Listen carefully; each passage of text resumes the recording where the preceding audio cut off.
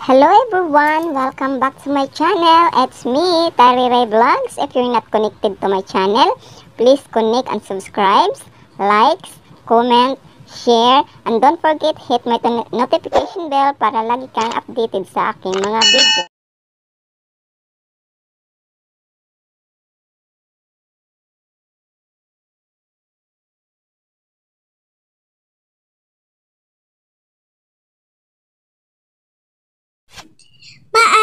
Makitang listahan ng second tranche ng Social Amelioration Program sa website na sap2.dswd.gov.ph.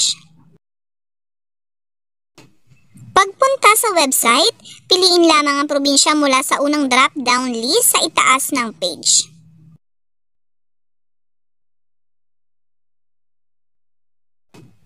Piliin ang kinabibilangan na city o municipality at i-click ang enter o research icon sa kanan. SAP Update September 2, 2020 para sa inyong mga katanungan. Bakit hindi po nakatanggap ng text mula sa GCash? Sagot ng DSWD and CR po ang namamahala ng digital payout tulad ng GCash, Paymaya, o kahalin tulad nito, random selection po ang ginawa nila, ibig sabihin, computer generated. Halos isang porsyento lamang ang pinagpala na makatanggap. Kung ako ay hindi makakasama sa makakatanggap ng text, ay may pag-asa pa po ba ako na makakuha ng SAP? Sagot, lahat po ay may pag-asa na makatanggap ng SAP second tranche wave o waitlisted or left out. Ayon sa CCSWD, and LGU ay magkakaroon ng manual payout sa mga barangay sa hindi nakatanggap through GCash or another form digital payout. Maghintay na lamang po tayo kung kailan iyon. Ang schedule po ay DSWD and CR ang tanging nakakaalam. Totoo po ba na last day ang bigayan ng SAP sa August 31? Sagot, hindi po ang ating barangay naghihintay lamang po ng update o abiso na manggagaling sa DSWD. Tayo po lamang ay naging tulay para po maidistribute o maipamigay ang sak sa bawat pamilyang nangangailangan. Inaayos lahat ng may problema mula sa kakulangan ng requirements hanggang sa pag-update ng inyong mga bagong contact number. At ito po ang aming pina pinapasa sa DSWD and NCR. Paano po kung numerong nakasulat sa aking SAC form ay hindi na gumana?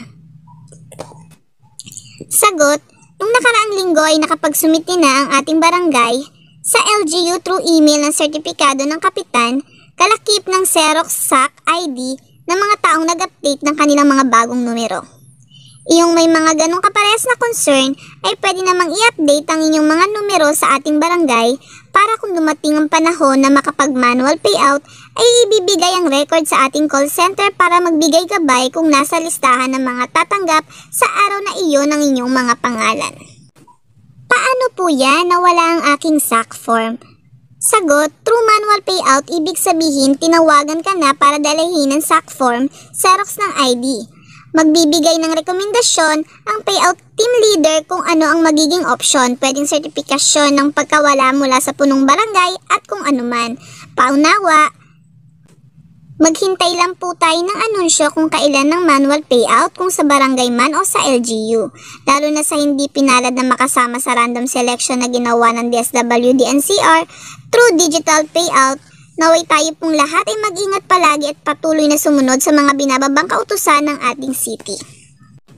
Panatiliing laging naka-face mask at face shield tuwing tayo ay lalabas ng ating bahay. Patuloy po tayong magdasal para sa kaligtasan ng lahat. Maraming salamat po. Munting paalaala at katanungan. Masasagot na.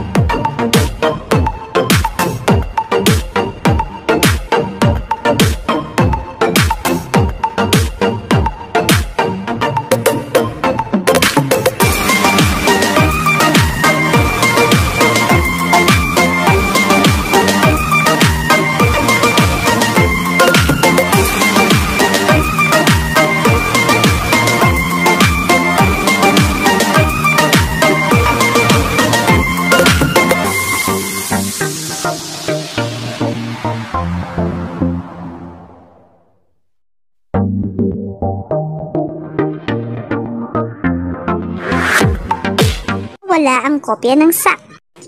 Ang orihinal na kopya ng SAC form na ginamit ng distribusyon ng first tranche ay isa sa dokumentong kailangan upang makuha ang iyong ayuda mula sa cash outlet o remittance center ng financial service provider.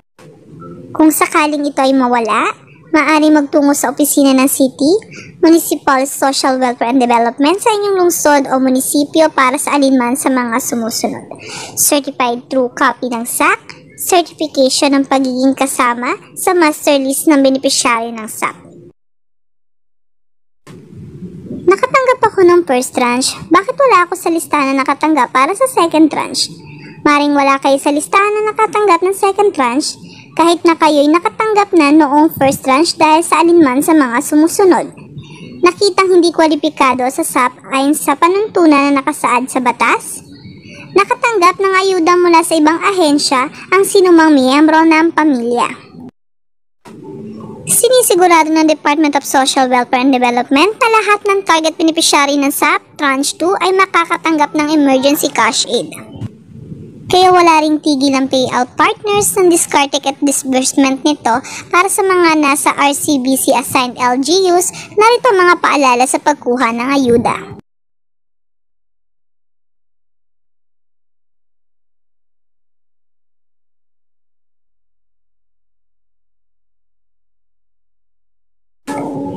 Manila, malugod naming binabahagi ang status implementasyon ng Emergency Subsidy Program, Social Amelioration Program sa kabuuan ng pambansang punong rehiyon.